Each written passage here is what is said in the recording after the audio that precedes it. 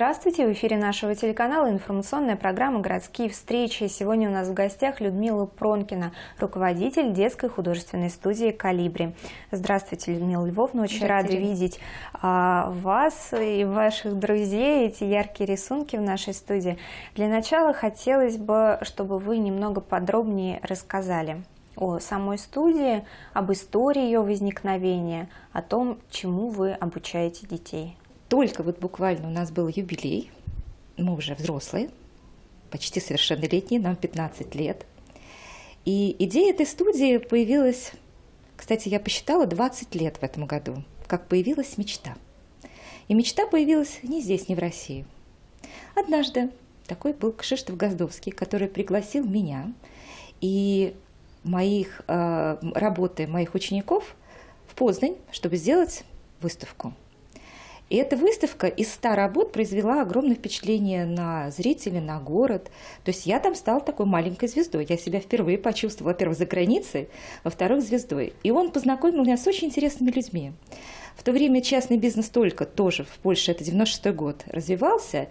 И была такая очень, может быть, надеюсь, что существует до сих пор, театральная школа, называется «Йохала», что в переводе, по-моему, обозначает «ух ты» театральная частная школа э, двух молодых э, супругов, мужа и жены – и вот эта школа, она обучала детей с самого маленького возраста и по окончании школы. И когда я познакомилась с ними, рассказала о своих мечтах и о своих детях, а у меня их было, и капелька была, студия эстетического воспитания, подготовительное отделение школы искусств, и сама школа искусств, был Вальдорфский э, школа, где я преподавала. То есть у меня разный-разный возраст был. И вот руководитель как раз, к сожалению, не помню имени, он сказал, здорово, тебе нужна своя школа. И вот он зародил вот эту идею и мечту, которая вот все-таки реализовалась, правда, не сразу. Так что в 96 году это начало нашей идеи. А, чем вот э, эта студия наша отличается от всех остальных? Тем, что мы действительно соединили совершенно разный возраст, то, что мне не хватало всегда.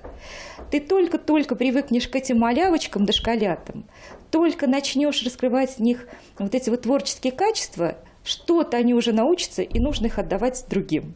Очень было жалко просто расставаться. А в школе художественной дети приходят в 11-12 лет непонятные. Этот возраст, когда они немножко закрыты уже. И очень долго нужно пробиваться вот к, к душе ребенка, к его творческим способностям, чтобы понять, кто перед тобой.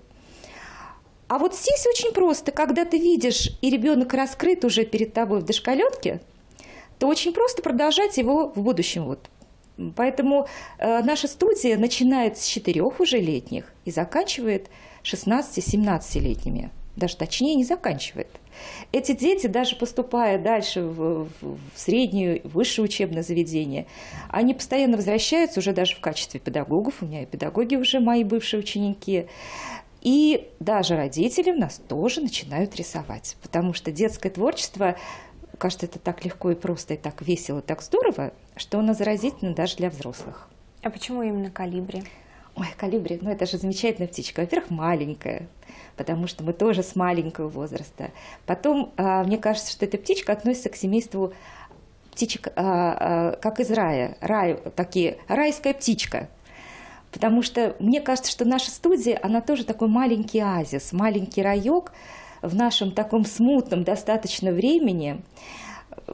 Ну, здесь не только можно потеплеть душой, но можно собрать в дорогу, а дети э, собирают в дорогу багаж, и, в общем-то, от наших взрослых очень многое зависит, что они возьмут с собой. Либо это будет а, сундук Пандоры, где они наберут обиды, какие-то непонятки, капризы, либо это будет ларец счастья. Да, и вот мы как раз стараемся детям показать мир с той стороны, с позитивной стороны, с доброй стороны, который будет, наверное, спасением и ну, своего рода даже иммунитетом даже в будущем, даже когда дети столкнутся ну, с не очень приятной реальностью это будет их спасением. По каким направлениям вы с ребятами работаете? Вот сегодня мы здесь в студии видим а, рисунки, видим таких замечательных да, да. А, кукол кошек. Чему можно у вас научиться? Да, я сразу поблагодарю Юлю а, Кузнецова. Это ее кошки. У нас был два года назад валяние, и давала мастер-класс ее мама. Мы даже вот такой используем, потому что родители у нас очень тоже творческие люди бывают и проводят еще дополнительно вот такие занятия по валянию и по Елена Гонтаренко проводила по гобелену. А в основной программе для маленьких дошколят это тоже самые все, ну, всевозможные материалы. Это и, естественно, карандаши, фломастеры, пастель, краски гуашевые, глина обязательно, пластилин – тесто соленое. У стар, старшие продолжают э, все эти техники уже ну, более профессионально развивать. А вот с 12, 11, 12-летнего возраста э, у нас начинается, как в художественных школах, освоение академического мастерства, потому что русская школа и руш, русские художественные э, учебные заведения, они э, требуют обязательное знание академического э, дисциплины.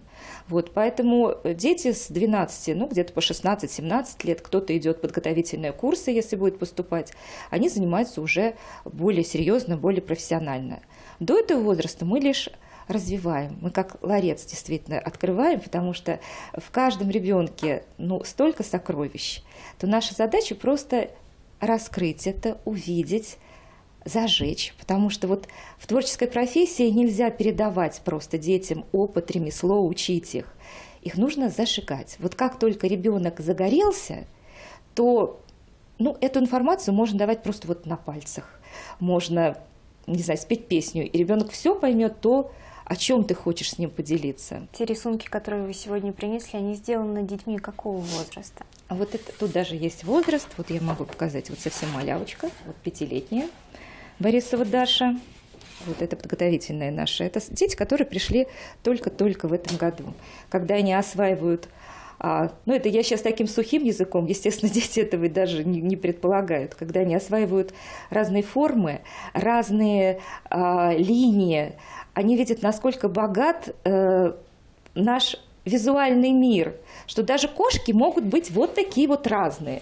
И мы рисуем ну, может быть, мордочку они, они рисуют просто отдельно, а вот все остальное рисуется практически с кривой линии. Линия должна не останавливаться. То есть тут много очень хитрых наших методик, приемчиков, таких вот все это в стиле игры, поэтому ребенку всегда очень интересно. Мы можем рисовать там кривую линию, три кривых линии, а, море волнуется раз, море волнуется два, море волнуется три, и эти линии у нас могут превратиться в рыб, в каких-то существ подводных. Поэтому дети это осваиваются очень легко, им очень интересно. Я знаю, что помимо вот такого прикладного искусства, у вас еще существуют какие-то занятия и по истории культуры, архитектуры, и в дальнейшем угу. ребята эти знания тоже используют в своих работах. Да, у нас очень странный предмет появился. Мы его специально так назвали, не история изобразительного искусства, не история мировой культуры, чудно по-детски странноведение. Можно и странноведение, как угодно, такая транскрипция смешная. Поэтому а, на этом предмете, этот предмет и название нам позволяет путешествовать как а, машина времени. Мы можем возвращаться в прошлое, в архаику, можем а, даже заглянуть в будущее, современность. О чем мы там можем говорить? Да, действительно, об истории изобразительного искусства, о разных культурах, о традициях разных народов. Потому что человек, эм, как не любим мы нашу страну и нашу нацию, и мы все очень патриотичны в этом, вот, по крайней мере, я, а, а, человек все равно и художник – это синтез всех разных культур. И поэтому чем больше визуально дети будут знакомиться с разными культурами, тем наверное, богаче будет и их изобразительный язык, их формы, и, наверное, ну не знаю, даже богаче, как человек они будут, потому что вот это все накопленное, это все наше. это все мое, и мы тоже это положим в наш ларец счастья. Это очень интересно. Людмила Львовна, большое спасибо, что нашли время к нам прийти. Всегда получаем огромное удовольствие от общения с вами, с вашими воспитанниками, от соприкосновения с миром искусства. Ну что ж, на этом наша программа подходит к концу. Мы желаем вам всего самого доброго. До встречи в новых выпусках. thank you